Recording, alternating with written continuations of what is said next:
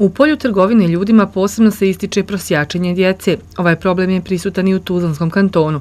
Tim povodom, kao i cilju obilježavanja 18. oktobra, Evropskog dana borbe protiv trgovine ljudima, članovi udruženja Zemlja djece u Bosni i Hercegovini i udruženja Žena Romkinja Bolja budućnost iz Tuzle uličnim performansom obilježili su 18. oktobar, Evropski dan borbe protiv trgovine ljudima.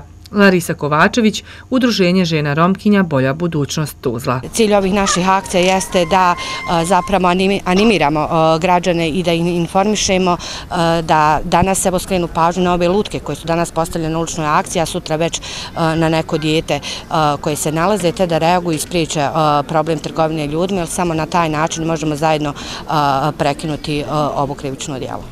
Svakako mi pozivamo sve građane i građanke, znači to mogu uraditi prijaviti policiji na 122, ali svakako tu su i SOS telefoni, znači poziv i broj za Federaciju Bosne i Hercegovine 1265, za Republiku Srpsku 1264, gde svaku svoju sumnju, iako i onu najmanju, mogu prijaviti na obje brojeve telefona i službena lica će svakako ovaj, izaći na teren i provjeriti Uh, svaku od uh, prijava.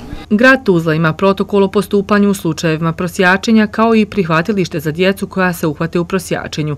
Dijete je svaka osoba koja ima manje od 18 godina starosti, kazala je Medina Gračić, učiteljica u udruženju Zemlja djece Tuzla. Da porodice koje se bavi organizovanim prosjačenjem i tekako poznaju protokol i poznaju koncept rada prihvatilišta za djecu koja se uhvate u skitnji i prosjačenju, pa shodno tome odlaze u druge kantune i opštine i tamo vrše prosjačenje gdje se mogu nesmetano kretati.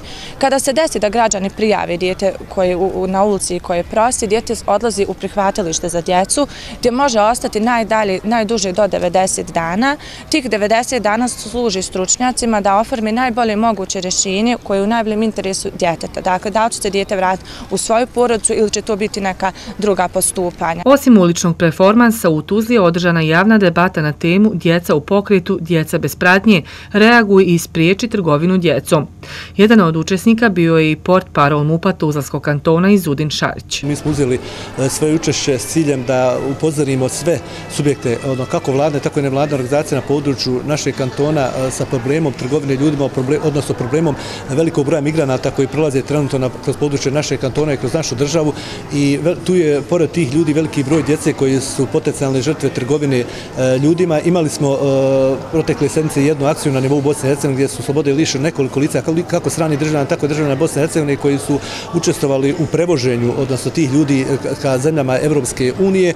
Ono što je vrlo bitno je da je e, zakonodavstvo Bosne i Hercegovine riješilo ovu oblast, odnosno donesene zakon 2016. godine koji reguliše trgovinu ljudima i mi u Ministarstvu unutrašnjih poslova Tuzlanskog kantona, odnosno upre policije, smo u 2017. godini imali samo dva slučaja trgovine ljudima, a to se odnosilo znači na trgovinu ljudima iz oblasti prosjačenja.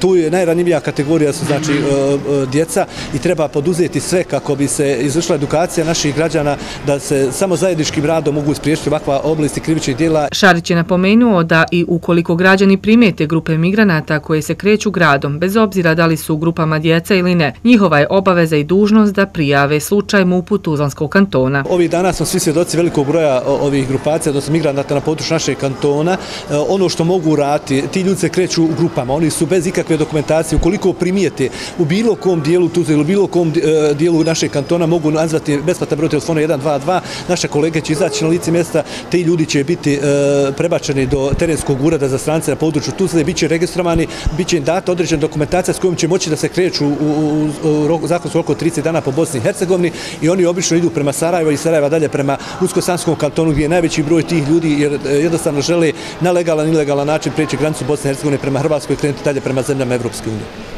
Uloga građana u samoj prevenciji trgovine ljudima je izuzetno bitna. Sve slučajeve je potrebno prijaviti nadležnim organima, jer ukoliko nadležne službe nemaju informacije, ne mogu ni blagovremeno reagovati.